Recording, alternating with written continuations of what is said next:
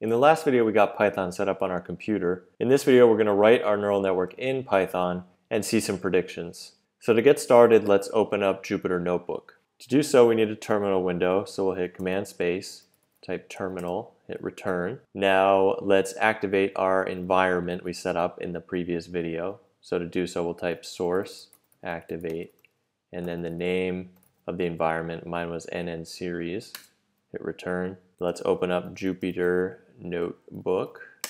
I'm going to create this notebook on my desktop and we'll go to New, Python 2. Let's call it NN. Now I'm going to use stuff from NumPy, so I'm going to say import NumPy, so we have access to that. Now let's define our neural network as a function. So to do so, we'll type def, the name of the function, nn. It's going to take two measurements, m1 and m2. It's going to weight them by two weights called W1 and W2 and it's going to add a bias number to that.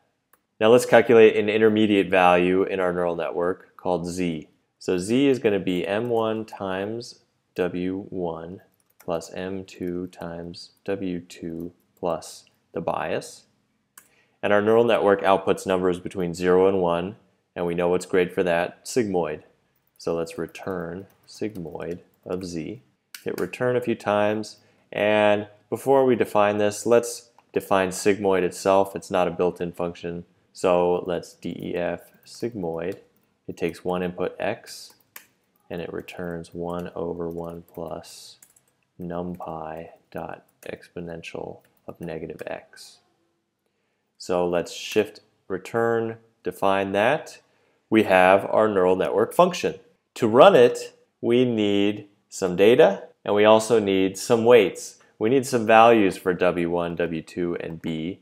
And we also need some values for M1 and M2 so that when we plug them in, that all these get replaced with actual numbers. And so it can turn into something like 2 times 3 plus 3 times 4 plus negative 7.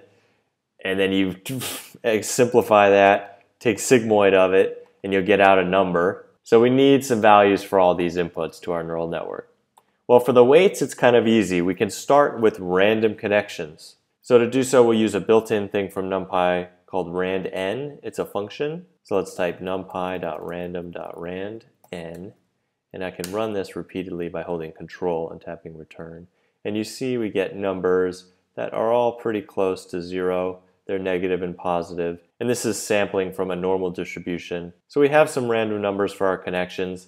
Let's actually assign them into variables. So W1 is equal to a random number.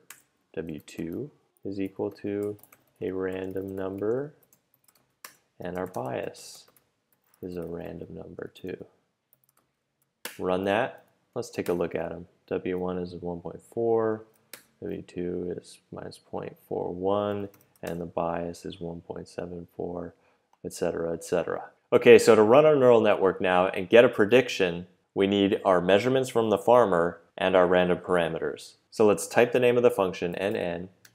We'll put in a measurement. Let's try 3 and 1.5 and our random parameters and run it. Okay, 0.9. So those were from a red flower and we're going to interpret this 0.9 as meaning the computer is thinking this is very much so likely a red flower. So, aha, good job. Let's try some different measurements. Okay, 0.98 for these, but these measurements were from a blue flower. So it's not looking so good for our computer. Let's try one more. Okay, it seems to like high values here, 0.98. So these measurements were from another blue flower, but it's still telling us red. So that's not too good, but it makes sense. The connections in the neural network are completely random right now. So the responses we're going to get have no relation to the measurements at all. So how would we even expect the computer to know which measurements go to which flower type? We shouldn't expect it to know. Let's actually hear a few more predictions from our computer just for fun. I see blue. Looks like red. Looks like blue. Okay, so those were some pretty random guesses and also pretty uh, musical guesses. I like the singing. Um, it makes sense, you know, our computer has no idea right now, but we're going to teach him. So in the next video, we're going to take a step back, look at something called a cost function and a bit of calculus, and that will get us moving in the right direction to find the right set of parameters for our neural network, the right W1, W2, and bias that will make it more accurate in its predictions instead of just singing these wrong answers, as entertaining as that may be. So subscribe to see the next video and like or dislike this one. Leave a comment, any feedback. I really love the feedback I've been getting. It's super motivating for me. Um, I love you guys out there for that. And I'll see you in the next video. Thanks again.